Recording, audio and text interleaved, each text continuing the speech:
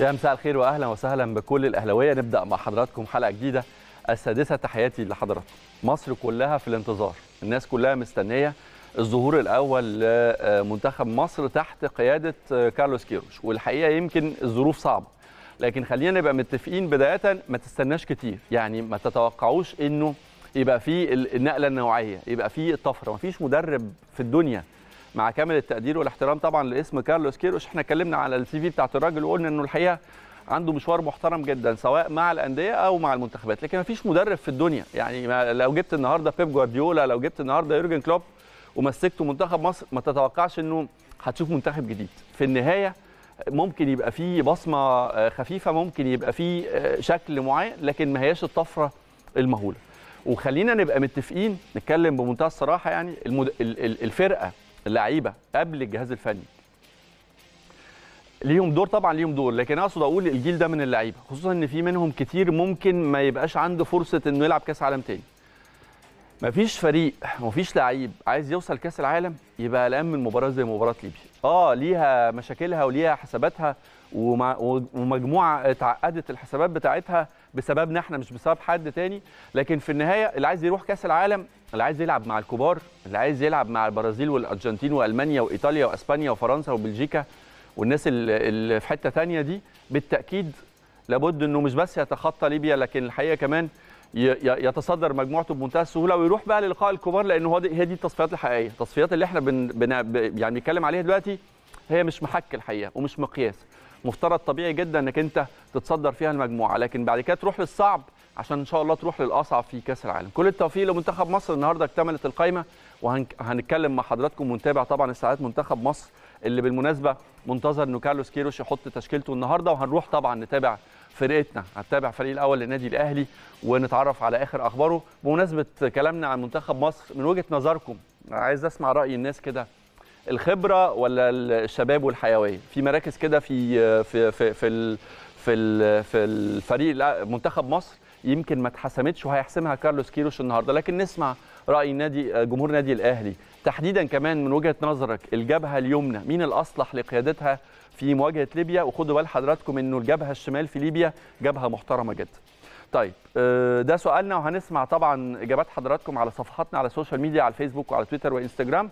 بس خلينا نبدأ الحلقة ونروح لزميلنا كريم أحمد نتعرف منه على أخبار تمرينة النادي الأهلي النهارده في طبعا إطار استعدادات لبداية المشوار واللي هتكون انطلاقه إن شاء الله قدام الحرس الوطني بطل النيجر. مساء الخير كريم. مساء الخير عليك زميلي العزيز أحمد برحب بيك في البداية وكل التحية لكل جمهور النادي الأهلي. أهلا بيك. تطمنا على التمرينة بتاعت النهارده ويمكن في بعض الأخبار الجديدة. أهمها طبعا إنه بيرسي تاو النهارده سمعت إنه شارك في التمرينة بشكل كامل. بالتأكيد طبعا يعني استعدادات مكثفة لفريق النادي الأهلي الحقيقة وجدية كبيرة جدا للانطلاقة اللي بنعملها إن شاء الله وبنتمنى تكون من نصيب النادي الأهلي وهي مباراة الحرس الوطني. النادي الأهلي الحقيقة مستمر في تدريباته الرابعة والنصف عصرا بيسبقها طبعا كالعادة. محاضرات بسيطة ما بتستغرقش وقت كبير من بيسو موسيماني لكن كلها طبعا أمور خاصة بالمرحلة القادمه الراجل بيتابع بشكل كبير جدا كل ال highlights الخاص بفريق الحرس الوطني. ويمكن كمان الأخبار اللي أكدنا عليها وهو ميعاد السفر يمكن زميلي أحمد ميعاد السفر هيكون يوم 14 يمكن قلت هذا الأمر لأن في صعوبة بالغه جدا في التنسيق في ملاعب هناك طبعا في النيجر. إن أنت يكون عندك يوم واثنين وثلاثة تقدر إن أنت تدرب عليه هناك ده أمر فيه صعوبة كبيرة جدا. فبناء طبعا على تصريحات الكابتن سيد عبد الحفيظ تم تحديد الموعد يوم 14 النادي الأهلي يدرب تدريبة وحيدة هنا وتدريبه وحيدة في النيجر. لا يوجد مباريات ودية زميلي أحمد طبعا خلال المرحلة القادمة وده أيضا كمان تأكيد من الجهاز الفني لأن العدد قليل. إحنا عندنا عدد كبير من اللعيبة الناشئين. طبعا أكيد وكنا بنتمنى إن في مباريات ودية لأن إحنا كمان واضح الجهاز الفني زميلي أحمد مركز على كل الوافدين الجدد. الانسجام مهم جدا والحقيقة ليهم دور كبير. أوضة اللبس ليها دور كبير اللعيبة الكبار ليها دور كبير جدا لأن هي دي المرحلة اللي تقدر اللعيبة الوافدين الجدد يتأقلموا على المرحلة ويتأقلموا على فكر بيتسو موسيماني. وده اللي الحقيقة بنشوفه في التدريب. التدريب النهارده يمكن كالعادة فقرات بدنية بسيطة لكن كل التدريب بالكره مفيش تكتيك على قد ما هي تنمية مهارات تركيز بشكل كبير جدا. يمكن الراجل أمس كان في تصويب على المرمى وكروسات. النهارده الراجل بيغير التدريب بيعمل أجوان بسيطة جدا وصغيرة جدا. إزاي تقدر تقلل من أقل لمسة تحرز هدف. أمور عديدة جدا وبتختتم طبعا التدريبات بتقسيمه أخيرة بتكون فيها حماس كبير جدا. الكل الحقيقة بيتألق بيها والحقيقة موسيماني وكل الجهاز الفني أي لعيب بيتألق بيشيدوا بيه ويحيوه اللعيبه بتحييه لأن المرحلة دي محتاجة تركيز كبير جدا. إحنا داخلين على موسم قوي جدا في كل البطولات فهي دي المرحلة وهي دي الانطلاقة إن شاء الله اللي بنتمناها. الأمور طيبة جدا. بيرسي تاو الحقيقة بيشارك في تدريب الأمس كامل بيشارك النهارده في تدريب ال- ال- بالكامل. أمور طيبة جدا شايفينها الفترة اللي جاية لأن الوافدين الجدد دول إحنا هنعتمد عليهم بشكل كبير مع كل النجوم اللي معانا. الحمد لله الأمور طيبة جدا التحضير جيد جدا. بنامل التدريبات تكون مستمرة بهذا الجدية الكبيرة اللي بنشوفها مع لاعبي النادي الأهلي. أنت عارف يا زميلي أحمد النهارده كان 4 ونص لكن غدا هيتم تعديل موعد التدريب ليكون 11 صباحا. الراجل بيحاول يكون في اختلاف شوية بين التدريبات ومواعيدها لأن أنت عارف نقص الأكسجين هيكون كبير جدا في النيجر. فالراجل بيحاول يكون في تدريب صباحا تدريب مسائي. فيا رب إن شاء الله البرنامج الموضوع من الجهاز الفني لبيتسو موسيماني يؤتي بثماره بشكل كبير جدا. اللعيبة تستوعب كل الجمل التكتيكية وكل التعليمات اللي بيقولها بيتسو موسيماني. وإن شاء الله تكون انطلاقتنا طيبة جدا بإذن الله في المباراة الأولى أمام حرس الوطني كريم المجد. خليني أسألك على فكرة استيعاب اللاعبين لل- لل- لفكر موسيماني والجمل التكتيكية اللي بيحاول يشتغل عليها معاهم. لأي درجة شايف ال- الصفقات الجديدة انسجمت مع الفريق؟ آه، آه، يعني آه، حفظت أو هضمت طريقة اللعب؟ قربت أكتر من من فكر مستر موسيماني في الفترة البسيطة اللي فاتت؟ يعني اهتمام بيتسو موسيماني بالجلسات الفردية قبل التدريب مع كل الوافدين الجدد ده أمر مهم جدا. الراجل بيتكلم نظري وبيبدأ في العملي يطبق هذا الأمر على طبعا المستطيل الأخضر داخل ملعب مختار التتش الحقيقة الراجل مركز على كل اللاعبين الجدد طبعا كل اللعيبة لكن اللعيبة الجدد بالتحديد أو الوافدين الجدد على فريق النادي الأهلي التدريب طبعا بيبقى ليه أمور خاصة شوية. أوضة اللبس كمان وده دورها كبير جدا. اللعيبة الكبار إن هم يقدروا يحتووا كل اللعيبة يقدروا إن هم يحفزوهم ويعرفوهم قيمة النادي الأهلي. بتسهل على بيتسو موسيماني أمور كثيرة جدا زميلي أحمد. أنت عارف طبعا الخبرة في النادي الأهلي كثيرين جدا ودورهم بيكون كبير.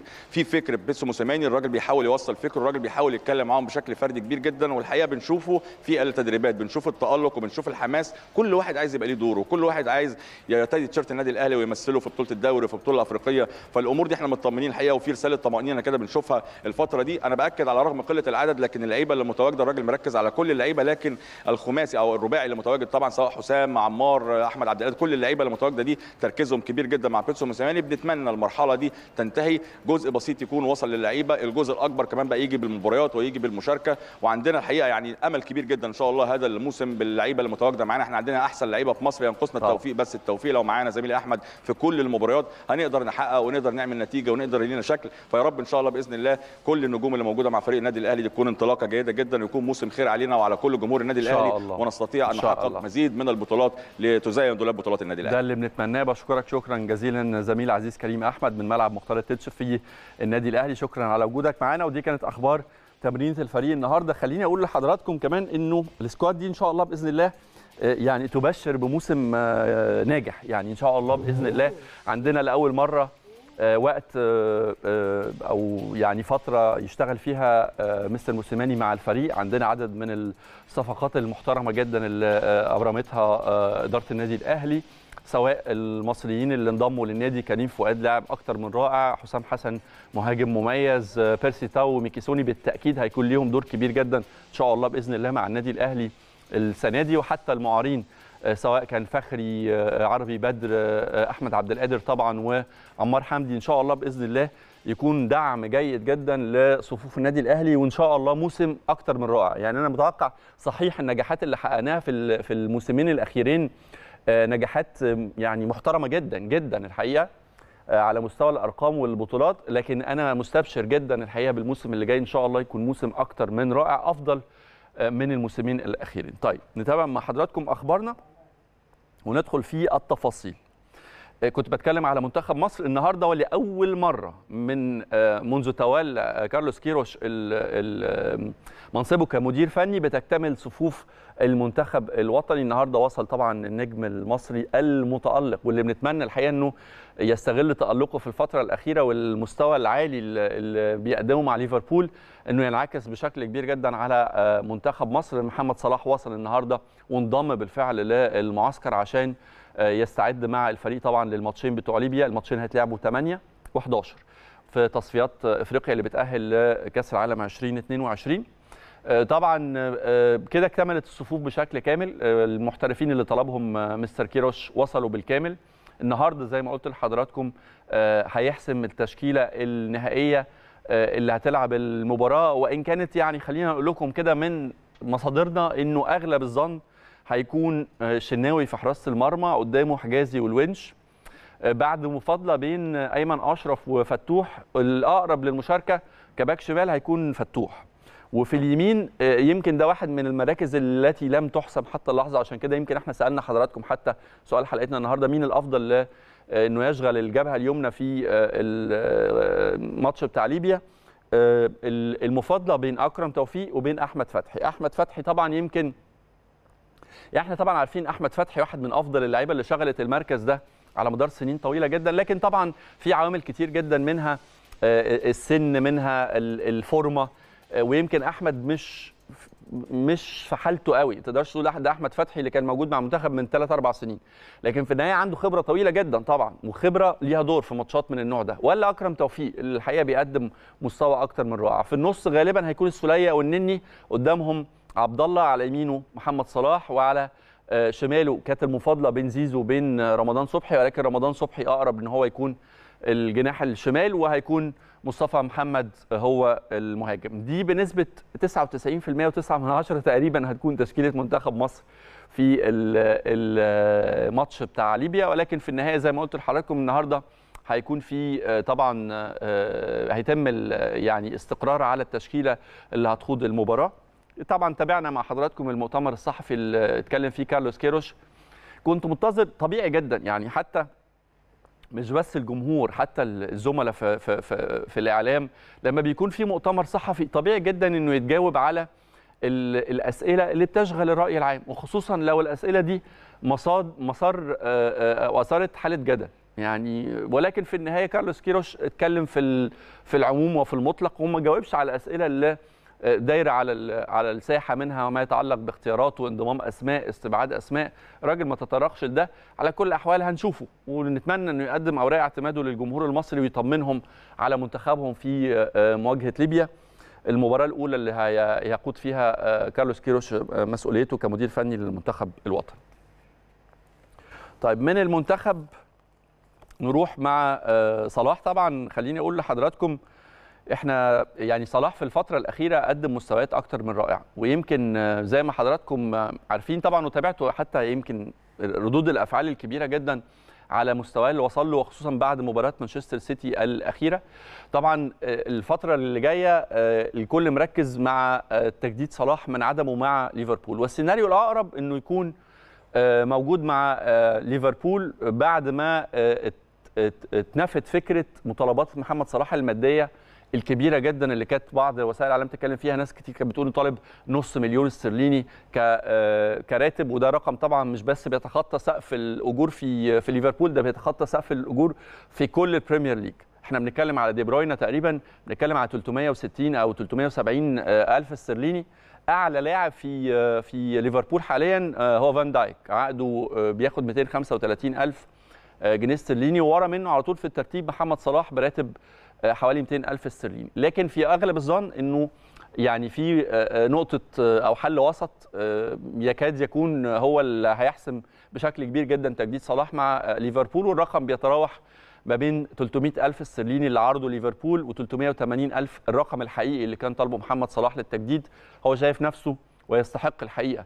هو شايف نفسه واحد من أفضل أنا مش هقول أفضل عشان ما نبقاش متحيزين لكن بالتأكيد ما حدش يختلف على إنه صلاح تقدر تحطه النهارده جنب كريستيانو رونالدو تقدر تحطه النهارده جنب كيفن دي بروينا تقدر تحطه جنب أي لاعب في الدوري الإنجليزي في موضع مقارنة وهو لها.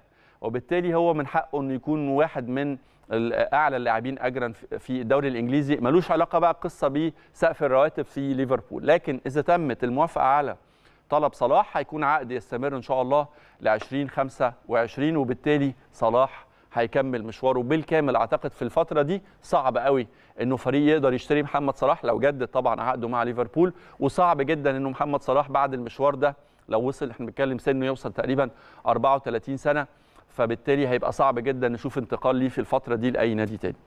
إلا لو كان عنده رغبة طبعا إنه يرجع بقى يفنش في مصر دي قصة تانية. طيب آه نروح. طبعا إحنا تابعنا مع حضراتكم الأخبار بتاعه آه منتخب مصر. هروح مع حضراتكم. عندنا ماتشين. خليني الأول يعني قبل ما أتكلم على هولندا أنا عايز أتكلم الحقيقة على آه ماتشين من العيار التقيل. يعني بره السياق شوية. طلعكم شوية من أفريقيا واطلعكم شوية من من تصفيات كأس العالم. أنا هاخدكم مع دوري الأمم ال- الأوروبية. آه، ال- ال- النهارده آه، بكرة وبعده تحديدا. بكرة في آه، لقاءين سحاب.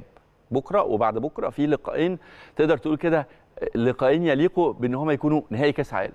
أولهم هو إسبانيا وإيطاليا. وطبعا حضراتكم عارفين إنه من من إيه من فترة مش بعيدة قوي الاثنين اتقابلوا آه، في قبل نهائي آه، يورو 2020 وإيطاليا طلعت إسبانيا بركلات الجزاء الت- الترجيحية. بكرة هيلعبوا في آه، آه، دوري الأمم الأوروبية ومباراة بيصفها كتير من طبعا هيلعبوا في نص النهائي. مباراة كتير بي بيصفوها الحقيقة إنها لقاء ثأري وبالتأكيد هو لقاء ثأري. يعني إسبانيا الفريق الواحد من أكتر الفرق أعتقد النهارده قوة على مستوى العالم دايما بطل مرشح عنده رغبة طبعا في إنه ياخد بطاره من إيطاليا اللي بالتأكيد عايزه تاكد جدارتها وتقول أنا ما كسبتش اليورو 2020 بضربة حظ لا أنا منتخب قوي ومرشح كمان مش بس إن أنا آه، آه، أفوز على إسبانيا. لكن كمان أنا مرشح لتحقيق لقب دوري الأمم الأوروبية تحت قيادة مانسيني وأبقى حققت الثنائية. ده بكرة. بعد بكرة تخش برضو في ضرب نار. بتتكلم على منتخبين لما تحسب آه، يعني ثمن وقيمة النجوم اللي بيلعبوا فيهم بتتكلم على تقريبا مليار دولار موجود على الأرض أكتر من مليار دولار. في, في, في خمس ست أسماء بس. بكلمكم على منتخب بلجيكا ومنتخب فرنسا والاثنين عندهم كمية نجوم يعني حدث ولا حرج. وبالتالي هتكون بالتأكيد طبعا آه، مواجهة تمشي فرانكوفونية تمشي فرانكوفونية ليه لأ. مواجهة فرانكوفونية تليق إنها برضو تكون نهائي بطولة زي بطولة كأس عالم. طيب هكلم حضراتكم النهارده في السادسة عن موضوع في منتهى الأهمية. واللي يشوف الفترة اللي عشناها آه، مع مع قصة كريستيانو الصراع اللي بين كريستيانو وليونيل ميسي واللي استمر يمكن لاكثر من 12 13 سنة. ويشوف إنه في ال 12 13 سنة دي آه ظهرت لعيبة بالتأكيد كويسة جدا زي صلاح زي دي بروينا. لكن ما شفناش المواهب اللي العيار التقيل يعني 12 13 سنة ما ظهرتش فلتة ما ظهرتش نبغة ما ظهرتش موهبة. فبالتالي كان الحديث مهم. وطبعا بنتكلم على اسعار فل- فلكية. أنت النهارده بتتكلم على عرض اتقدم لكيليان امبابي نجم PSG من ريال مدريد وصل تقريبا ل 200 مليون يورو واترفض.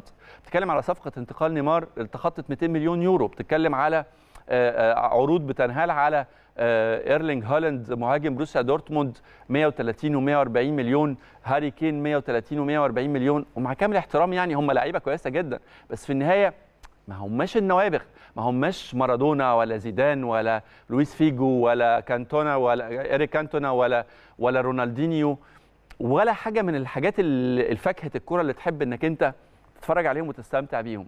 فين دور الأكاديميات وليه صناعة النجوم بقت متعثره الموضوع طبعا بره business وعلم وده اللي هنتكلم فيه في آه، السكايب النهارده. هيكون معانا آه، يوب لينسن آه، ده حد الحقيقة كان تولى مسؤولية عدد كبير جدا من الأكاديميات ال- الدولية منها الأكاديمية الدولية الهولندية منها الأكاديمية الخاصة بنادي لاتسيو في هولندا. هنتكلم معاه أكتر في ال- التفاصيل ونعرف منه إزاي الناس دي بتشتغل وإزاي بيحاولوا يكتشفوا هو كمان كان لفترة طويلة جدا من حياته اشتغل كشاف مهمته إنه يطلع المواهب ويكتشفها ويشتغل عليها في الأكاديميات اللي تولى مسؤولياتها هنعرف تفاصيل أكتر في السادسة بس بعد الفاصل. طيب عايزين نبص مع حضراتكم على كرة القدم مش كرياضة. يعني حط الرياضة شوية على جنب. هي الرياضة الأهم والأكثر متعة قول زي ما أنت عايز قول. لكن في النهاية ال- كرة القدم أصبحت يمكن واحدة من أهم الصناعات ومجالات آه، الاستثمار.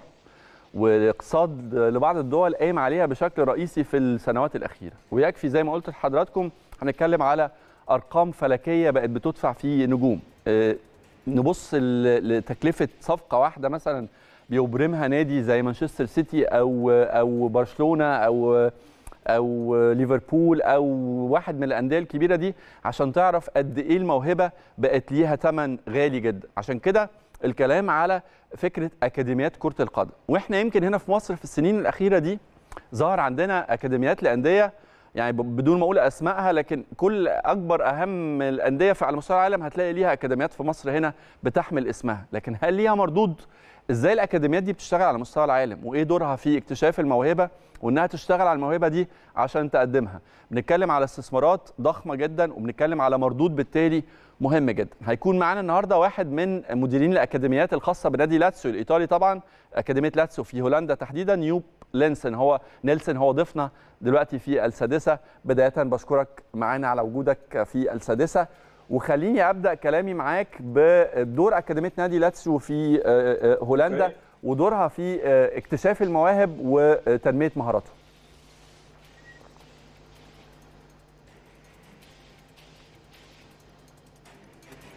Yeah, well, uh, is that already the question? I can give the answer. Yes. Yes. Hello? طيب Yes. صوتي الصوت واضح Okay. طيب السؤال طبعا أنت كنت صاحب مشوار طويل في كمدير لأكاديمية. كره القدم الهولندية قعدت فترة في فنرباشا ال- التركي وحاليا طبعا يمكن لمدة 11 سنة تقريبا بتتولى مسؤولية آه، آه، كمدير طبعا لأكاديمية نادي لاتسيو الإيطالي في هولندا طوال مشوارك تقييمك وجهة نظرك لدور Yeah. الأكاديميات دي بداية في اكتشاف المواهب قدرتها على اكتشاف المواهب ثم بعد كده إنها تشتغل على الموهبة دي عشان آه، تنمي مهاراتها.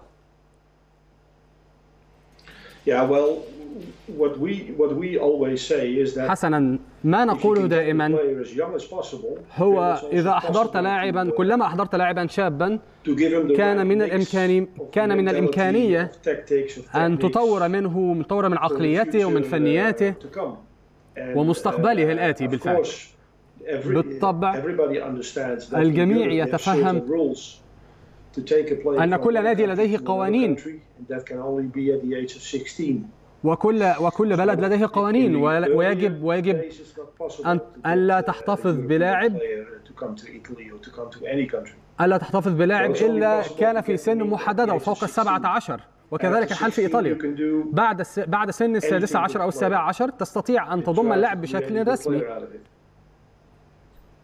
يوب لانسن خليني أسألك على دور أكاديمية نادي لاتسيو تحديدا. إحنا النهارده بنشوف آه، الحقيقة الكل أو أغلب وأشهر أندية العالم أكاديميات عابرة للحدود ومش ببالغ لو قلت حتى عابرة للقارات. وفي أفريقيا في عدد كبير جدا من الأكاديميات الانديه على مستوى العالم كله. هل شايف إنها بتقوم بدور حقيقي في اكتشاف وتفريخ مواهب جديدة؟ ولا الهدف منها بيكون ال- الناحية الترويجية أو الناحية الاقتصادية؟ الهدف منها تحقيق ربحية أكتر من فكرة اكتشاف مواهب حقيقية.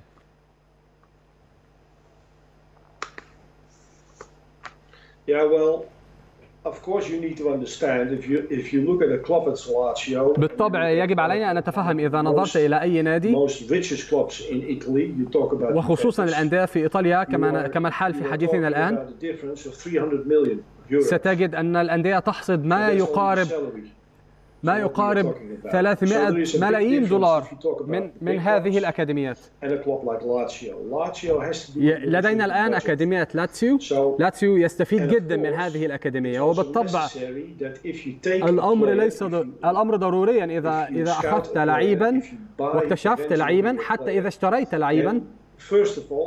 فأول أمر فأول أمر تحتاج هو أن يكون لاعبا ايطاليا. وهذا هو الأهم. فمن الأفضل أن يكون لاعبا من البلد التي تضم وإلا ستأتي بلاعب أجنبي وت... و... و... وتعمل على تغيير الثقافات وتغيير أوراقي فهذا أمر يحتاج إلى وقت. فيجب عليك إعطاء اللاعب مستقبل مؤمن. وهذا أمر هام لأي لاعب بجانب الأمور المالية. بالفعل. إذا رأيت وإذا حاولت أن أن تكتشف لاعبا الآن فيجب عليك أن أن تفتش وتبحث في في في جميع أنحاء البلد وخصوصا إذا تكلمنا عن إيطاليا فنفعل ذلك بالفعل هنا. لو لو خدت قياسا على كلامك يعني مثلا الدوري الإيطالي نسبة التمثيل في كل الأندية الإيطالية بشكل عام أو في نسخة ال- الكالتشيو الدوري الأندية اللي بتشارك في الدوري في الكالتشيو الإيطالي. نسبة اللاعبين الإيطاليين اللي بيشاركوا. مع الأندية الإيطالية نسبة منخفضة جدا مقارنة بنسبة اللاعبين الأجانب اللي بيلعبوا في الدوري الإيطالي. تفسيرك لده إيه؟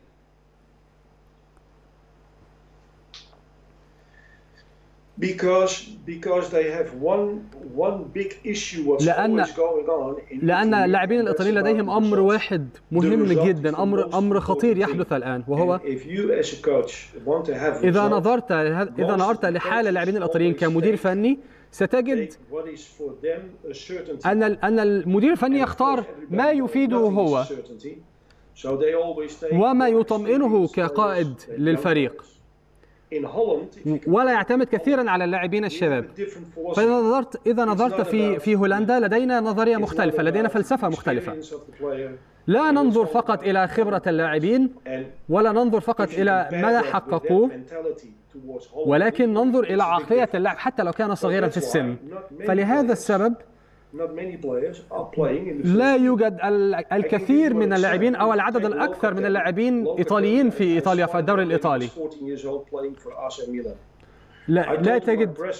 رأيت this- منذ مدة لاعب في عمر ال 14 عاما في إي ميلان I وقلت له because I ستكون.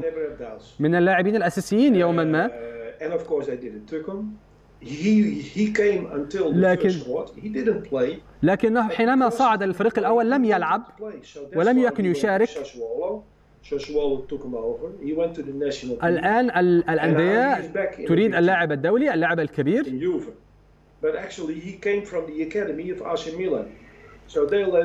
حتى لو كان يأتي من أكاديمية مثلا كأكاديمية ميلان. اسمح لي من من من 30 سنة مثلا لما كنت تتكلم على الكرة الإيطالية وتسأل عن نجوم الكرة الإيطالية مستعد اعد لك 100 اسم نجم من العيار الثقيل آه، يعني آه، آه، آه، آه، فياري فيالي آه، آه، مالديني باولو روسي آه، توتي اليساندرو ديل بييرو إنزاجي وغيرهم كتير جدا جدا. الحقيقة أسماء ممكن ناخد فيها الحلقة كلها. لكن في الوقت الحالي أو في آخر خمس سنين يعني أنا بكلمك عن نسبة تمثيل للاعبين الإيطاليين في الدوري الإيطالي قليلة جدا ونسبة تصدير اللاعبين الإيطاليين حتى لو الد- الدوريات الكبيرة قلت جدا. ولو سألت النهارده عن نجوم الإيطاليين تقريبا مش موجودين. يمكن عرفنا بعض الأسماء من يورو 2020 تفسيرك برضو أو وجهة نظرك آه، إيه السبب في ده؟ Yeah, well, it's exactly the same what you have because because, بالفعل هو هو ما تملكه الآن إيطاليا.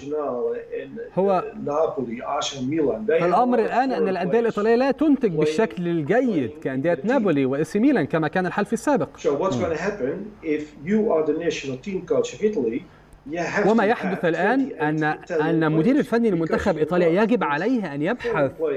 بحثا جيدا عن المواهب في إيطاليا. لديك الآن لديك الآن لاعبين جيدين من ميلان ويوفنتوس وإنتر ميلان لكن لا يحظون بالفرصة المناسبة للمشاركة. طيب خليني أسألك على على طريقة أو على منهج العمل في الأكاديمية. وأنت صاحب مشوار طويل وخبرة طويلة بالتأكيد. بداية نتكلم على الجزئية الخاصة بالاكتشاف. بتعتمدوا على إيه في اكتشاف المواهب الجديدة؟ آه، هل بتستنوا بتعملوا اختبارات؟ هل ليكم كشافين بيتفرجوا في المسابقات أو في الملاعب المختلفة؟ إيه هي الطرق أو الوسائل اللي من خلالها بتقدروا تكتشفوا الموهبة وعلى أي معايير بتقيموا إذا كانت دي موهبة تستحق الرعاية ولا لأ؟ First, first of all, the most important thing you need to know أول أمر مهم يجب عليك أن أن أن تعرف ما هو مطلب النادي بالتحديد. تتأكد من مهارة اللاعب ومن عقلية اللاعب وأو وأهم شيء هو يجب أن تنظر إلى فريقك، ماذا يحتاج ماذا يحتاج فريقك؟ تستطيع أن تكتشف أي لاعب في العالم، لكن ما هو الذي يحتاجه فريقك؟ فإذا فإذا نظرت ستجد الكثير من اللاعبين لكن بلا فائدة. لتجنب لأن الأندية تتجنب هذا الأمر تجد لاعبين جيدين لكن النادي لا يحتاجهم لا يلعبون الأندية تصرف الكثير من الأموال على هذا الأمر Pay 50 or 40 or 30 million. نادي مثل لاتسيو يستطيع أن يدفع 30 أو 40 50 مليون لصفقة واليوفي يستطيع أن يفعل ذلك وإنتر ميلان يستطيع أن يفعل ذلك كم that. مثلا لنادي ناتسيو منتشرة على مستوى العالم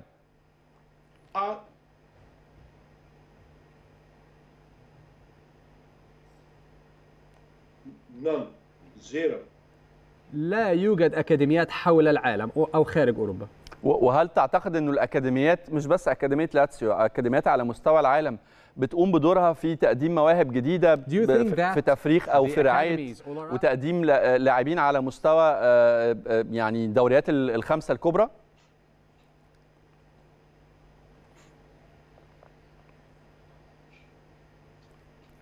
I don't hear your question very well. Can you can you repeat it? Do you think that the uh, academies all around the world, you, uh, the clubs' academies, do its role in finding young players, good talents for?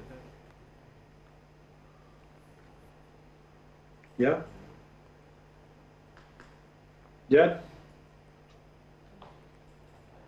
Yeah, about the top five leagues. So what? So what's the question? Do you find that? Do you think that? طيب انا بعتذر جدا لضيق الوقت يوب بلانسن مدير اكاديميه نادي لاتسيو الايطالي في هولندا بشكرك شكرا جزيلا على وجودك معنا. ويبدو إن الموضوع وبالتأكيد النتيجة أو ال ال ال الواقع اللي بيقول إنه الموهبة بقت عملة نادرة جدا وان الموهبة النهارده عشان تتكلم على صفقة بتتكلم على مبلغ بتتكلم على نجم محترف من العيار الثقيل يعني بتتكلم على مبلغ لا يقل بأي حال من الأحوال عن 100 مليون يورو. في حين أنا متأكد إنه لو لفيت الكرة الأرضية هتطلع ملايين المواهب اللي ما لقيتش حد يكتشفها أو على الأقل ما لقيتش حد يديها الفرصة ولكن في النهاية تبقى الأكاديميات أعتقد في ظني يعني وفي تقديري إنها مصدر من مصادر الدخل بزنس يعني زي ما بنشوف عندنا كتير في أكاديميات بتحمل أسماء أندية عالمية لكن على مستوى أو على أرض الواقع ما قدمتش شيء للرياضة أو لكرة القدم.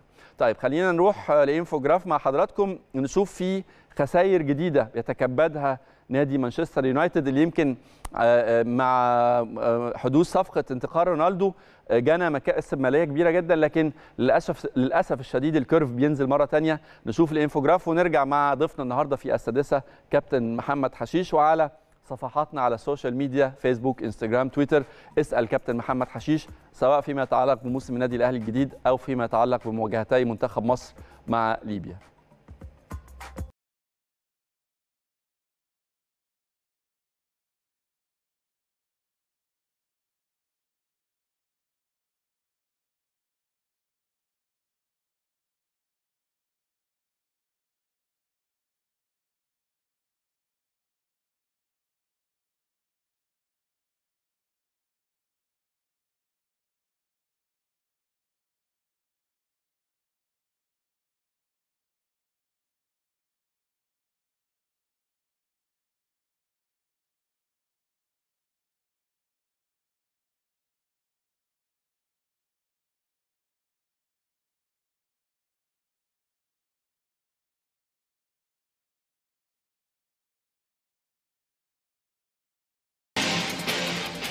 هي عادتنا ولا هنشتريها. طول عمرنا الحقيقة في تصفيات كأس العالم بالذات مش عارف ليه يعني في أمم أفريقيا دايما وأنت داخل أي بطولة أمم أفريقيا كان المنتخب كويس كان المنتخب وحش حاسس إنك ممكن تنافس يعني ممكن توصل إنك أنت تحقق لقب أو على الأقل تعمل مشوار كويس. لكن دايما في تصفيات كأس العالم مش عارف ليه إحنا معقدين على نفسنا. ودايما في ماتشات في كل تصفيات تبقى شايل همها وحاسب حساباتها وتقول هنعدي ولا مش هنعدي بس الجديد في الموضوع إنه الماتشات دي زمان كانت بتبقى منتخبات تقيلة. يعني تبقى مرة مع تونس تبقى مرة مع الجزائر تبقى مرة مع السنغال. فيبقى منطقي إنك تشيل همها وتحسب حساباتها وتقول هنعدي ولا مش هنعدي.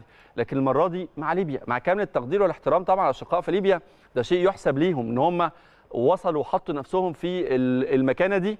ومش عارف ده يعني تحسن لمستوى ليبيا ولا تراجع لمستوى مصر؟ كان الله في عون المنتخب والجهاز الفني واللاعبين وقبل منهم الحقيقة الجمهور. عاملين حساب لليبيا قوي ولا مفترض إن إحنا نتعامل من موقف التاريخ والبطولات والرصيد؟ ده هيكون سؤالي الأول لضيفنا النهارده في سادسة كابتن محمد حشيش اللي بيشرفنا وينورنا. مساء الخير كابتن محمد. إزيك يا أبو حميد؟ منور الدنيا. ربنا يخليك. هو المفروض إن إحنا وإحنا رايحين نلعب ليبيا رايح جاي نبقى قلقانين قوي كده وخايفين قوي كده وحاسبين الحسابات ولا الطبيعي جدا إن مصر تقدر تكسب المباراتين رايح جاي؟ شوف يعني يعني بطبيعة الحال ووضع مصر وبتاريخ مصر والأهم من ده كله اللعيبة اللي موجودين ايا كان اللي موجودين في المنتخب الحالي المفروض إن مصر ما تخافش من أي فرقة. أي فرقة دي كبيرة شوية لا يعني. والله صدقني مش كبيرة بس أوه. إحنا اللي حطينا نفسنا في الحتة دي. يعني إحنا اللي وصلنا نفسنا للحتة دي. وإحنا مشكلتنا كمان دلوقتي ان انت لو تلاحظ إحنا بنيجي مع الفرق ال- القليلة هي اللي بتعصلك معانا وهي اللي بتحطنا في موقف صعب. آه ليبيريا عملتها معانا قبل كده مرة. أكتر من. مرة في آه. أكتر من تصفيات. إحنا أيوة. إحنا دخلنا كأس العالم كم مرة؟ هم ثلاث مرات. أنا شفته مرتين بس. بالظبط آه، كده. يعني شفت الثالثه دي. أيوه. يعني. ف... ف... فاحنا حطينا نفسنا في المجموعه اللعيبة اللي موجودين. الدوري المصري القوي اللي موجود آه، المفروض انه انه انه إن منتخب مصر يبقى على مستوى عالي. دلوقتي في آه، لعيبة كمان آه، عندنا محترفة كتير غير أيوة. الأول. يعني الأول كان يمكن واحد بالكتير قوي اللي يكون موجود وبرضه ملوش التأثير بره آه، الكبير. دلوقتي عندنا لعيبة محترفة كتير وعلى رأسهم طبعا محمد صلاح. كفاية وجود محمد صلاح في المنتخب المصري. لأن الناس بتقول كفايه وجود محمد صلاح في ليفربول. فما بالك بقى إحنا عندنا في في في منتخب مصر اللي بيقابل آه، فرق في مجموعة زي ليبيا وأنجولا والجابون. آه، أنا شايف إن إحنا مضخمين الموضوع شوية بالنسبة لمباراة آه، ليبيا. طيب خليني قبل ما أكمل كلامي أقول برضو لجمهور السادسة إنه أسئلتنا أو سؤالنا على ال social media اسأل كابتن محمد حشيش. على فيسبوك وعلى تويتر وعلى انستجرام وهن إحنا ما بنمنعش أسئلة زي زي ناس تانيين. كل أسئلتكم هنوصلها لكابتن محمد ونحاول إن إحنا نجاوب عليها. اللي زاد من ال- من القلق وال- والتخوف من من من من الجمهور يعني هي فكرة الأسماء. يعني استبعاد أسماء آه، بعينها انضمام أسماء ما كانتش متوقع إنها تكون مع منتخب مصر في المرحلة دي. فده شوية خلى الناس تحط علامات استفهام. هو أنت جاي تصلح وجاي توصلنا كأس العالم ولا أنت جاي لسه تجرب فينا؟ على أي أساس تستبعد اسماء زي شريف وقفشة آه، من النادي الأهلي آه، مصطفى فتحي أحمد سمير من السموحة والطلايع؟ يعني الحاجات دي بالنسبة للناس زودت شوية من قلقها على الماتشين. آه، بص يعني طبعا أي مدير فني في الدنيا بيبقى له قناعات بناس معينة. صحيح الموضوع يعني زيادة شوية لأن أنت بتتكلم على لعيبة كانت من أحسن اللعيبة اداء وسلوكا وفنيات وأهداف في خلال الموسم اللي فات كله. مظبوط. يعني لو هنتكلم على قفشة ومحمد شريف ومصطفى فتحي. يعني فعلا بالتحديد الثلاثه دول عاملين موسم غير عادي.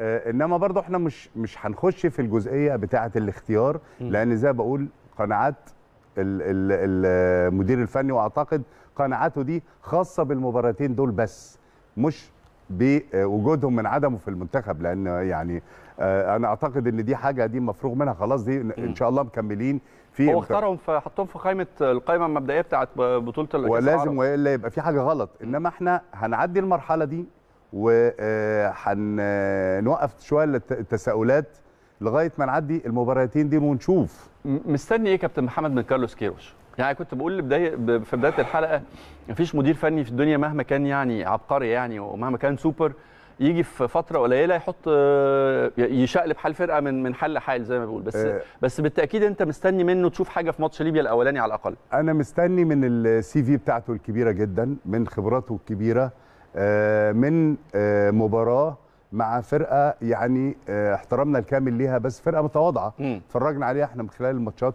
اللي فاتت فرقة متواضعة ما فيهاش النجوم اللي بتعمل ال- ال- الفارق. فوجود الراجل ده بالسي في بتاعته بخبراته الكبيرة في المنتخبات مع قيادة المنتخبات قبل كده المفروض إن أنا يعني أنا أنا بقول المفروض مصر إن شاء الله بإذن الله الستة بونت في المباراتين اللي جايين. على آه بتكلم طبعا وببني رايي على آه مستوى فرقة ليبيا خلال المباريات اللي اتفرجنا عليها. أيوة. شايف إن آه منتخب مصر وصل نفسه للحالة دي أو للترتيب ده لأن كان في ظروف معينة وكان في بعض التخاذل وما كانش فيه اهتمام للبدايات أدى لكده. إنما منتخب مصر لو في حالته بمجموعة اللعيبة ايا كانت مجموعة اللعيبة اللي موجودة كلهم بصراحة على مستوى عالي المفروض إن إحنا نكسب إن شاء الله ليبيا هنا وهناك. ده الوضع الطبيعي منه. آه ما تنساش إن هو برده معاه جهاز آه فني مصري على دراية كاملة باللعيبة وأعتقد إن هم هيكون لهم آه، دور كبير في آه، آه، الماتشين الجايين بالنسبة للعيبة ومع يعني ومعرفة كروش باللعيبة من خلال طبعا الجهاز الفني المعاون. تسمح لي آخد من كلام الراجل نفسه اللي قال لما اتفرج طبعا هو ما كانش متابع أكيد الكره المصريه ولا اللاعبين المصريين ولا الأندية المصرية بس يعني لما اتفرج على ماتشات المنتخب في الفترة الأخيرة قال أنا أول ملاحظاته إنه حس إنه المنتخب المصري ما عندوش شخصية أو ما عندوش هوية. مم. هل منتظر إنه يقدر يظهر يظهر شخصية المنتخب المصري في الماتشين اللي جايين؟ يعني طبعا هي صعبة لضيق الوقت إنه إنه يقدر آه، آه، ينقل فكره للعيبه في خلال الفترة الصغيرة دي. بس على الأقل نحس أنت عارف يعني آه، كنا زمان نقول أي تغيير في أي مدرب بيجدد الدماء وبينشط والناس بتبقى كلها عندها حوافز إنها تبقى موجودة في المنتخب وتدي اللي عندها. هو طبعا المفروض أي لاعب بيرتدي تيشيرت مصر مش مستني مدرب جديد أو تغيير في الجهاز عشان يزود الدوافع عنده. ده منتخب مصر ده شرف كبير طبعا. وأي حد لازم يعني يبذل أقصى جهده في أي مباراة يلعبها وايا كان الوقت اللي بيلعبه. آه، بس على الأقل نشوف آه، يعني يعني تكتيك جديد طريقة جديدة طريقة لعب جديدة. آه، آه، رتم يتغير في الأداء لأن أنا شفت منتخب مصر في المباراتين اللي فاتوا ال- الريتم بطيء قوي و- و- واللعيبة ما عندهاش حلول ما كانش في حلول خلال الفترة اللي فاتت. مم. الطريقة التشكيل هل تتوقع فيهم تغيير؟ رؤيتك للتشكيل الأنسب لمواجهة في ظل اختيارات طبعا الأسماء اللي موجودة عندنا. تمام. خلينا نسمع ده من كابتن محمد حشيش آه، في السادسة. بس بعد ما نروح لفاصل ونرجع لحضراتكم على طول. نرجع لكم على كابتن محمد محمد حشيش ضيفنا في السادسة مرة تانية. وكان كلامنا قبل الفاصل على طول على آه، الطريقة والتشكيل الأمثل اللي هيواجه بيهم منتخب مصر. ليبيا وخد بالك دايما وأنت بتحط في حساباتك ال- المواجهة إنك أنت محتاج على أقل تقدير على أقل تقدير أربع نقاط من أصل ستة. ويا سلام لو جبت الستة تبقى ريحتنا وريحت جمهور الكرة المصرية على الأقل في المرحلة الأولى من التصفيات. مرة تانية برحب بيك كابتن محمد أهلا بيك يا محمد يعني كنا بنتكلم قبل الفاصل إنه مش منتظرين بصمة واضحة قوي من كيروش في الماتشين دول. لكن على أقل تقدير يعني مطالب إنه يلعب بطريقة تأمن لنا. زي ما اتفقنا كده وإحنا بنتكلم في الفاصل حد أدنى من النقاط. إحنا محتاجين أربع نقط على الأقل من منتخب ليبيا عشان نستعيد صدارة ال- المجموعة. بصوا إحنا عشان نحسبها نحسبها من يعني إيه آه، نتكلم على المباراة الأولى وهي دي الأهم. تمام. اما تيجي الم- ال- المباراة نبقى الثانية نفكر آه فيها، لأن آه. ما حدش عارف الأولى ممكن أيوة. يحصل فيها إيه يعني. ف- والاولى ممكن يحصل فيها إيه يا كابتن محمد؟ آه إن شاء الله يحصل فيها خير ونكسب. آه بس اللي عايزين نحسه من اللعيبة اللعيبة كلها كبار وكلها خبرات. آه حتى لو ما بنلعبش بمدرب أساسا. اللعيبة اللي بتعمل كل حاجة في الملعب.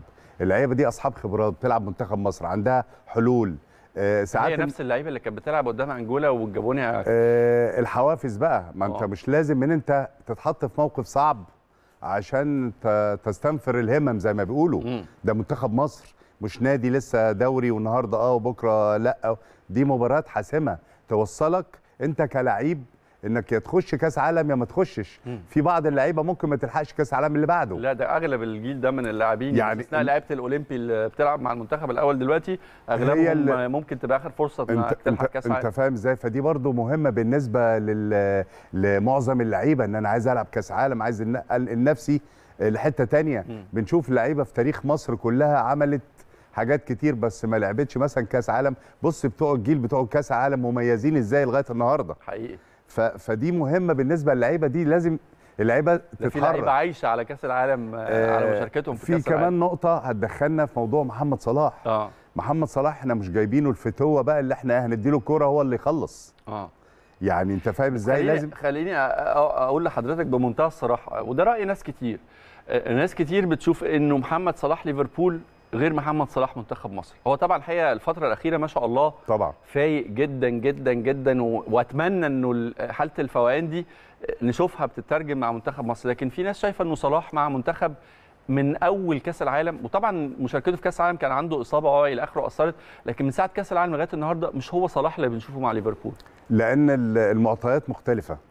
آه ليفربول آه آه آه كام واحد بيخدم على صلاح؟ طريقة اللعب نفسها الضغط العالي اللي بيتعمل المساحات اللي بتتخلق لصلاح على إنه يتفوق ويستفيدوا من إمكانياته آه، الحقيقية في السرعة والمراوغة. آه، صلاح دايما بيفرغوه للحتة اللي هي الحتة اللي قدام ما نزلش لغاية آخر الدنيا يدافع إلا في بعض المباريات. أنت هنا لا أنت أيام ما كان كوبر موجود كنا بن الكرة الطويله لصلاح وصلاح يا عيني يجري سبرنتات ولوحده. آه صلاح خطورته غير في الأهداف ال- الحاجات ال- البساط البينية الأسيستات اللي بيلعبها للمهاجمين. واخد بالك؟ فده دي خطورة صلاح. إزاي أنت آه، تهيئ له الجو وتساعده. آه، إحنا كمان دلوقتي بنطالب آه، وكلنا فرحانين بمستوى محمد صلاح. وبنقول دلوقتي إن هو بقى مش في مصاف الثلاثه الأوائل. ده يمكن أول واحد أحسن لاعب في العالم. إزاي انت تساعده؟ لأن برضو من ضمن الحاجات انت اللي بيتقيم ولا انت كلعيبه أنا كلعيبه وكمنتخب وكل الناس تتضافر انها تطلع محمد صلاح. انت عارف مشكلة ميسي اللي كانت موجودة؟ ان ميسي مكسر الدنيا في برشلونة. انما مع آه، منتخب بلده ما اداش اي حاجة. أيوه. ودي كانت بتقلل شوية من آه، آه، النقط بتاعته لما بيجوا يحسبوا أو يختاروا آه، أفضل لاعب في العالم. أفضل لاعب في العالم. فإحنا لازم برضو نساعد محمد صلاح في الحتة دي إن إحنا نهيئ له الجو اللي هو يخليه زي ما هم بيقولوا آه، صلاح بتاع ليفربول زي صلاح بتاع آه، المنتخب. أقفل ملف المنتخب بسؤال بسيط جدا وواضح جدا. منتخب مصر قادر عموما يوصل كأس عالم؟ شايف التشكيلة دي والظروف المنتخب نقدر نوصل كاس عالم ولا لا؟ خليني خليني اكون متفائل. إن شاء الله قادر حتى بالظروف بوضعه دلوقتي. آه، آه، مجموعة اللعيبة إن شاء الله مطمناني مع التغيير مع المدرب الجديد. إن شاء الله بإذن الله قادر يعني. طيب إحنا سألنا النهارده سؤال الحلقة كان ليه علاقة بالناحية اليمين في منتخب مصر. هل الجهاز ويمكن دي الناحية اللي ما اتحسمتش لغاية دلوقتي؟ آه، اللي نعتمد فيها على خبرة لاعب زي أحمد فتحي ولا نعتمد فيها على شباب وحيوية ومستوى مميز زي أكرم توفيق. تعال نستعرض آه، إجابات الجمهور ويهمني أسمع رأي طبعا تمام. كابتن محمد حشيش. طيب آه، منار عادل بتقول ممكن يبدأ بأحمد فتحي وبعدين أكرم أو العكس.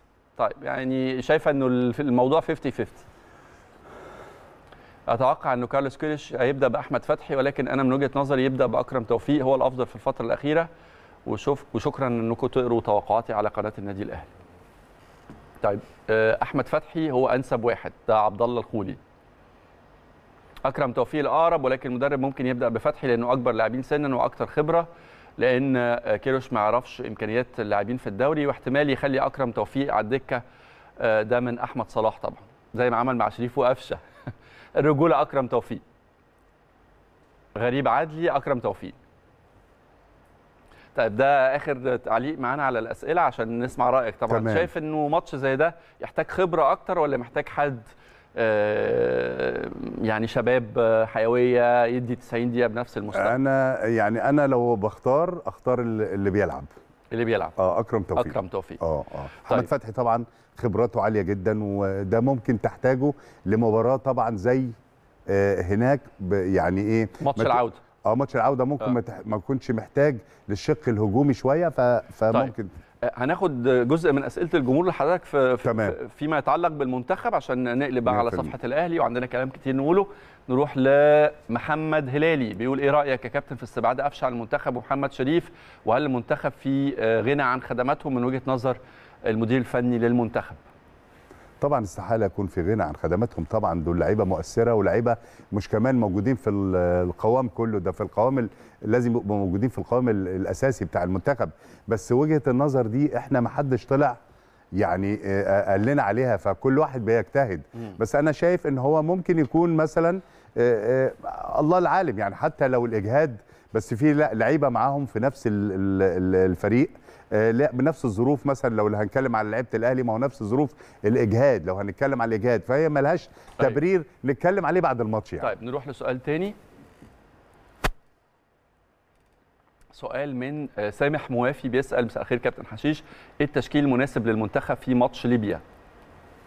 آه، أنا طبعا حراسة المرمى ما فيهاش خلاف الشناوي آه، أكرم توفيق آه، حجازي والونش وممكن فا- أيمن أشرف. أيمن أشرف. أيمن أشرف. آه، نص الملعب ممكن يكون طارق حامد والسوليه أيوه. آه، صلاح. هتقعد النني. آه صلاح. مم. رمضان صبحي. آه، مصطفى محمد. صلاح. رمضان صبحي مصطفى محمد. آه. وف- وفي نص الملعب؟ وفي نص الملعب طبعا عبد الله السعيد. عبد الله السعيد. طبعا. طيب ده تشكيل أمثل من وجهة نظر الوحيد. كابتن محمد آه، طيب خليني أنقل مع حضرتك بقى على الاهلي بداية ال- ال- الماتشين اللي ظهر فيهم الأهلي بسكواد الموسم الجديد تقييمك ليهم إيه؟ مين اللعيبة اللي لفتت نظرك؟ شايف الكورة عموما بصرف النظر عن النتائج الكورة اللي قدمها النادي الأهلي آه، كمقدمة لموسم جديد إزاي؟ طبعا الماتش الأخير آه، آه، المستوى الأداء أحسن شوية من طبعا ماتش السوبر آه، آه، اتكلم على ماتش. إنبي آه طبعا آه، ظهر فيه بعض ال- التدعيمات زي ميكيسوني. وبرغم إن برضه ما كانش يعني الأداء المطلوب اللي يظهر آه، لعيب جديد داخل الفرقة إنما إحنا كلاعيبة كورة أو جمهور طبعا بيفهم في الكورة حاسين من لمساته إن هو يعني عنده مهارات عالية عنده كورة. عنده كورة. وكمان عنده حتة دفاعية كويسة إن هو زي ما بيقولوا بلغة الكورة بيقاوح وبيروح يضغط على الخصم وكده في ظل برضه الظروف ما كانتش مساعدة قوي. آه، فده طبعا من اللعيبة اللي طبعا ظهرت شفنا ديانج طبعا نجم المباراة طبعا. عمل آه، مجهود غير عادي وأنا قناعاتي الشخصيه ان ان ان ديانج يتحط في نص الملعب ومع حد تاني. ده قناعاتي يعني. ديانج ما يطلعش من الملعب. ما يطلعش من الملعب. ويعني التجارب اثبتت آه، آه، آه، الحته دي. آه، في بع- بعض اللعيبه الجديده مثلا آه، آه، حسام حسن. أنا لسه ما شفتوش كويس. ده من وجهة نظر المدافع محمد حشيش ولا من وجهة نظر آه، حد بيقيم آه، آه، صفقة جديدة؟ لا يعني أنت صفقة- طبعا نظرتك للمهاجمين يعني بتبقى مختلفة طبعا شوية. طبعا. آه، حسام أنا شفته طبعا في سموحة هداف وبيتحرك وبيدوس في الكورة و و و. بصراحة ال- الشوية اللي شفته فيهم يعني ما حسيتش إن هو نازل قارص على نفسه. وأنا من هنا بقول له حاجة وهو لعيب كويس قوي. ولو ما كانش لعيب كويس قوي ما كانش النادي الأهلي اختاره على فكرة. طبعا. آه، إن هو مش شرط إن أنا أكون بلعب في حتة أساسي أجي النادي الأهلي ألعب أساسي. مم. لأن النادي الأهلي اللعيبة بتاعته آه، لعيبة على مستوى عالي وكل واحد في مركزه آه، له وضعه. فعشان إن أنا أحط رجلي في التشكيلة الأساسية لا لازم أتعب. ومش عيب إن أنا أستنى على الخط في البدايات إنما أثبت لما أنزل إن أنا جدير بالمكان الكلام ده ممكن الكرة تبقى معنداني بس الضغط والزحلقة وال- والحماس ده بتاعي أنا مش بتاع الحظ. فهو لازم أحس منه إن هو يعني حسيت منه في الماتش يعني عارف إزاي الكور بيشيل رجله آه، بينزل مفيش جدية في التعامل مع الكورات ال- اللي جات له. هو لعيب كويس وزي ما قلت تاني لو ما كانش لعيب كويس ما كانش النادي الأهلي جابه. فلازم يعني الوضع في النادي الأهلي مختلف عن أي حتة ثانية السنة دي مفيش حد ضامن مركزه؟ مليون في المية. مهم. مليون في المية ولازم اللعيبة كلها تعرف كده. آه ما عندناش استعداد كجمهور نادي جمهور نادي الأهلي إنه نخسر بطولات تاني.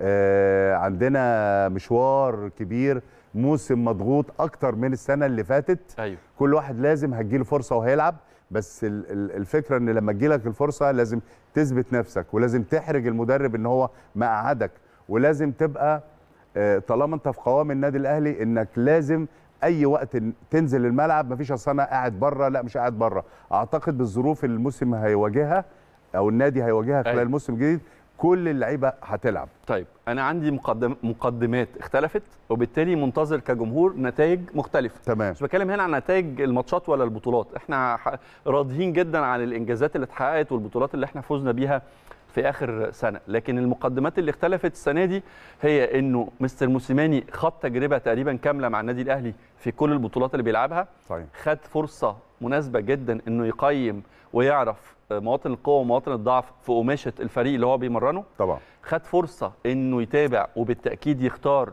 كان ليه بالتأكيد سي في الأسماء والصفقات مليون في اللي المية عملها النادي الأهلي. ولأول مرة منذ تولى المسؤولية كان عنده مساحة من الوقت الفريق وهو وجهازه يشموا نفسهم ويبتدوا يفكروا ويحضروا ويرتبوا للي جاي. وبالتالي أنا كجمهور مستني نتائج مختلفة. إيه هي النتائج دي؟ وكابتن حشيش مستني إيه من مستر موسيماني وفرقته مع النادي الأهلي في الموسم الجديد؟ هيكون آه، سؤالي لحضرتك بس بعد الفاصل. ماشي. أنا عن نفسي مستني موسم استثنائي. وشايف إنه الأسماء اللي موجودة في فرقة النادي الأهلي تكسر الدنيا. أتمنى إن شاء الله يكون عندنا الفرصة إن إحنا القصة مش بس قصة ألقاب لأن إحنا شبعانين ألقاب ومتعودين والنادي الأهلي دايما واقف على منصة التتويج. أنا كمان عايز أشوف كرة ممتعة وعايز أستمتع بالقماشة الحلوة وبالنجوم اللي من العيار الثقيل اللي موجودة في فرقة النادي الأهلي. زي ما كنت بكلم مع كابتن حشيش قبل الفاصل إنه في مقدمات اتغيرت وبالتالي منتظرين نتائج مختلفة. إيه اللي منتظره كابتن محمد حشيش من فرقة الأهلي في الموسم الجديد؟ لا أنا منتظر حاجات كتيرة. آه آه طبعا البطولات دي مفروغ منها إن دايما بننتظر من النادي الأهلي بطولات إنما كمان أداء. مم. يعني أداء ولاعيبة جديدة آه تظهر ما كانتش موجودة ولعيبه جاية من الاعاره على النادي تاني عملت مستويات كويسة. بالعكس بقى تيجي تأدي أكتر كمان. موسيماني طبعا خد حقه تماما في وجوده مع النادي الأهلي وخاض بطولات كتيرة. المرة اللي فاتت أول ما جه كنا بنقول له إنه معذور ده جاي على دور قبل نهائي في إفريقيا م. ولسه ما شافش اللعيبة. فكنا منتظرين منه نتائج وإحنا برضو قلقانين ومش منتظرين قوي أداء لأن لسه ما يقدرش يحط شخصيته أو يفرض اداؤه على لعيبة النادي الأهلي في المدة الصغيرة. آه بمرور الوقت آه تقريبا السنة اللي عدت دي تقريبا من شهر 10 لشهر 10 آه خلاص بقى عرف كل حاجة وعرف إمكانيات اللعيبة وعرف اللعيبة في أكتر من مركز. والسنة دي بالتحديد كان له اليد العليا في الاختيارات اللي جت النادي الأهلي. يعني أكيد لجنة الكورة كان موجود طبعا. أساسي بالنسبة لها هو اختياراته. عكس ما جه لقى لعيبة مفروض عليه. م. هو اختار فعندك دلوقتي يعني. بالمعنى العام كده مفيش اعذار. إحنا منتظرين منك أداء كويس. آه في لعيبة اختارها شخصيا زي اللعيبه الأفارقة هو عارفها وشافها مرنوا واشتغلوا معاه قبل كده. واشتغلوا معاه قبل كده وعارفها كويس قوي. فاحنا دلوقتي النادي الأهلي أو جمهور النادي الأهلي آه طبعا النتائج في المقام الأول بس الأداء ممكن الأداء يهرب منك. آه ماتش ماتشين نتيجة للإصابات نتيجة النقص نتيجة لإجهاد. إنما الأساسي عندك إن يبقى آه أداء النادي الأهلي اللي تعودنا عليه الكره الحلوة بتاعت النادي الأهلي الناس كانت بتجري على الشاشات وعلى الاستادات تتفرج على الأداء الحلو على تاريخ النادي الأهلي كله على مر الأجيال. فإحنا مستنيين من موسيماني أداء كويس قوي لعيبة تتوظف في أماكنها الصح نشوف أكتر من بديل في المكان الواحد عشان ما يحصلش دروب لأن برضو قبل الفاصل أنا قلت إن الموسم ده هيبقى مضغوط كمان أكتر من اللي فات فلازم يبقى عامل حسابه على الحاجات دي عشان ما يبقاش فيه أي شماعة أو أي حجة م. إن شاء الله كمان اتحاد الكورة وعد ورابطه الأندية وعدت إن ان شاء الله الفار هيبقى بشكل مختلف وكان مشكلة الفار الأخطاء اللي حصلت منه الموسم اللي فات إن هم ما اتدربوش على الفار مدة كافية الحكام أي. السنة دي لا إن شاء الله بإذن الله يبقى في فار كويس وإن شاء الله تبقى كل حاجة متظبطة. والله يا كابتن محمد القصة مش قصة فار بس بقد ما هي كمان تقنية بس ونقل تلفزيوني طب يعني لو لا لو دي ما طورتش يعني لو ما شفناش الفار هيبقى زي ما هو. يبقى الفار هيبقى زي ما هو. هيبقى زي ما هو. يعني. ففعلا في برضه أنا عرفت إن في لينك مع طبعا التلفزيون ومع الكاميرات ومع التصوير عشان يساعد بحيث إن إحنا عايزين ننهض بكل حاجة بصراحة. صحيح عايزين صحيح. نقدم الصورة عندنا صعبة شوية. محتاجه محتاجه محتاجة اتفرج يا أحمد على الماتشات بره الدوري الإنجليزي تحس إن أنت قاعد مع اللعيب جوه. حقيقي.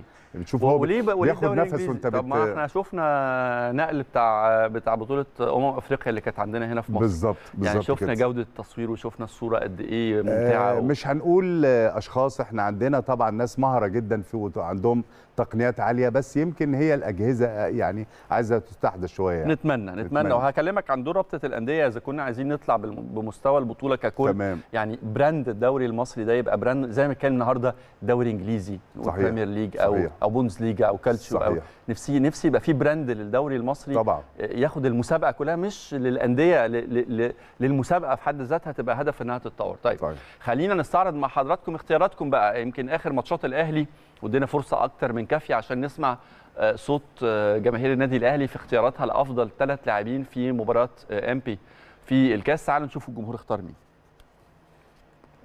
في المركز الأول باكتساح. ومش جديد عليه مقدم موسم ولا أروع. الحقيقة يمكن كابتن محمد حشيش أشاد بيه من لحظات. أليو ديانج الحقيقة قدم واحدة من أفضل ماتشاته مع النادي الأهلي. وباكتساح وبفارق كبير جدا عن كل منافسيه فاز بالمركز الأول.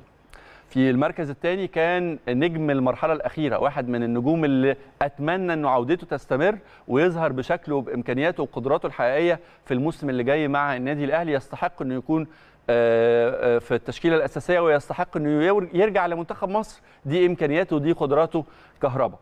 في المركز الثالث كانت المنافسة الحقيقة بين وجهين جديدين رغم إن هم ما يتحسبوش على قائمة ما يتحسبوش على قائمة الأهلي في الموسم اللي لسه ما زال مستمر. لكن الحقيقة المنافسة على المركز الثالث كانت بين أحمد عبد القادر وميكيسوني وقدر أحمد عبد القادر إنه يحسمها لصالحه ويفوز بالمركز الثالث. أول ظهور لأحمد عبد القادر في اختيارات جمهور النادي الأهلي. كده نشوف مع حضراتكم ومع كابتن محمد حشيش جدول الترتيب وصل لغاية فين في موسم ما زال مستمر معانا حتى اللحظة. حتى الموسم مش عارف هيكمل ولا لأ أو الكاس هيتلعب ولا لأ وقصة فيها لعبكه كتيرة جدا. أليو ديانج في المركز الأول برصيد 39 نقطة وبيبتعد عن محمد مجدي قفشة اللي دلوقتي فرصته الوحيدة إنه يتعادل مع ديانج إنه الكاس يستمر وإنه الأهلي يوصل المباراه النهائيه وإن شاء الله يتوج بيها. اليو ديانج في المركز الأول برصيد 39 نقطة محمد مجدي قفشة في المركز الثاني برصيد 33 نقطة وراه الشناوي برصيد 31 نقطة في المركز الثالث ومعاه في نفس المركز محمد شريف المخيف. أكرم توفيق مقدم واحد من أفضل مواسمه وجه يمكن جه متأخر بس جه واحتل المركز الخامس برصيد 23 نقطة الشحات المركز السادس 22 نقطة بدر بنون 16 نقطة علي معلول 16 نقطة. كهربا بيتقدم وبيشارك معلول وبدر بنون في نفس المركز برصيد 16 نقطة بعد ما ضاف لنفسه نقطتين في مباراة امبي الأخيرة. بعد كده الترتيب على التوالي طاهر محمد طاهر أيمن أشرف السلية ياسر إبراهيم حمدي فتحي وليد سليمان وأجاييه نكمل جدول الترتيب مع حضراتكم. علي لطفي محمد هاني رامي ربيعة كوكا بيكم والتر بواليا وأحمد عبد القادر. طبعا أحمد ما, ما, ما نقدرش نحسبه على ترتيب الموسم الأخير لأنه صفقة جديدة لكن طبعا الجمهور اداله نقطة في مباراة أمبي الأخيرة وبالتالي دخل مع سكواد الأهلي في الموسم الأخير. رأيك في الترتيب العام لجدول أفضل لاعبين على مدار موسم؟ آه مباراة مباراة وخطوة بخطوة. دي اختيارات جمهور النادي الأهلي. طبعا الترتيب منطقي جدا جدا وأنا بقول إنها تنحصر مع الأربعة الأوائل. أيوه. لأن هم يمكن قريبين شوية من بعض يعني الرابع 31 والأول حاجة و40 فأعتقد 39 اليو ديانج. اليو ديانج فدي نسبة قريبة. وهو فعلا لما لما تيجي تبص للمباريات كلها هتلاقي فعلا الناس دي كان مستواها ثابت في أغلب المباريات. م. يعني يمكن الشحات فقد الترتيب ونزل شوية في المراكز أيوة. لأنه ماتش كويس قوي وماتش ما جاش. أيوة. ماتشين كويس. يعني انما ال ال الاربعة الاوائل مثلا الشناوي ديانج قفشه قفشه أكرم أو شريف وبعديهم طبعا أكرم كانوا غالبية المباريات. اولا كم كبير من المباريات اشتراك نسبة مشاركة كبيرة. ثبات في المستوى يمكن هو ده اللي وصلهم للمراكز الأربعة الأولى يعني. صحيح. مين اللي بتراهن عليه في في تشكيلة الأهلي الموسم الجديد؟ مين اللاعب اللي كابتن محمد حشيش مستنيه؟ أه والله يا عمار أنا شايف إن من اللعيبة الكويسة قوي م. وعنده ميزة قوية. أنا شو عمري ما شفته في المباريات سواء في الأهلي أو بره بيلعب بتراخي. عنده أه يعني روح قوية جدا روح قتالية كبيرة جدا بيموت نفسه على الكورة عنده فنيات أه سريع لياقته البدنية كويسة. أتمنى يبقى له وجود في الملعب إن شاء الله بإذن الله. سريعا جدا يهمني آخد رأيك في مستجد جديد على على ال المسابقات المصرية وهي رابطة الأندية في أول مواسمها. صحيح عندها إشكاليات كتيرة جدا مشاكل حصلت السنة اللي فاتت وكانت في منتهى الوضوح عليها إنها تعالجها. عندها ظروف صعبة بتواجهها بتواجهها سواء على مستوى مشاركات الأندية أو المنتخبات السنة الموسم اللي جاي ده. لكن في النهاية أنت بالتأكيد في سقف توقعات أو سقف مطالبات تتمنى إنه الرابطة تنجح في تحقيقها. شوف الرابطة دي طبعا اتأخرت كتير قوي على بال ما اتعملت. كان المفروض إن إحنا يعني بلد زي مصر دي من يعني رائدة الكورة في إفريقيا يعني. فكان المفروض الرابطة دي تعمل من أكتر من آه، آه، سنة فاتت. إنما إحنا بنتمنى لهم طبعا التوفيق خلال الفترة الجاية. الناس ما تتوقعش برضو إن الموضوع يكون 100% في البداية. متفقين. آه يعني بس في حدود دنيا. بس طبعا في حدود. آه. نتمنى منهم ودي حاجة أهم آه، جدول مسابقة منتظم. آه، عدالة في التحكيم لأن التحكيم برضه هيبقى تبع ال- الرابطة. العقوبات. آه، هي لجنة الحكام تابعة لاتحاد الكورة لكن هيتم التنسيق مع رابطة الأندية مع رابطة الأندية. لانها على اتصال مباشر من خلال طبعا المباريات. أيوه. آه، عدالة في التحكيم الأهم من ده كمان. قرارات حاسمة وكلها متساوية بالنسبة لجميع الأندية. آه، ونتمنى منهم بقى يعني يخففوا شوية حتة التأجيلات. نتمنى. لأن كل آه، المباريات معروف موعدها والأجندات. معروف موعدها دي يعني. أسهل حاجة ممكن دي- تتعمل في دي- الدنيا دي بس ألف ب ما. هي ما بتحصلش يا كابتن بس محمد مش دي عارف بس ليه على فكرة دي من أساس اختصاصاتهم تمام. اللي هي جدول منتظم بعيد عن التأجيلات. إيه مشكلته أنا مش فاهم بصراحة. أتمنى يظهر في الموسم الجديد وبالتهيألي هيبقى واحد من النجاحات اللي تحسب لرابطه الأندية. بشكر كابتن محمد حشيش شكرا على وجوده معانا النهارده في السادسة. وبشكر شكرا. حضراتكم على المتابعة. بكرة حلقة السادسة اللي اتعودتوا عليها كل يوم أربع حلقة الكرة العالمية. بشكر حضراتكم على متابعتنا. ونتقابل بكرة إن شاء الله في نفس الميعاد. تحياتي لحضراتكم.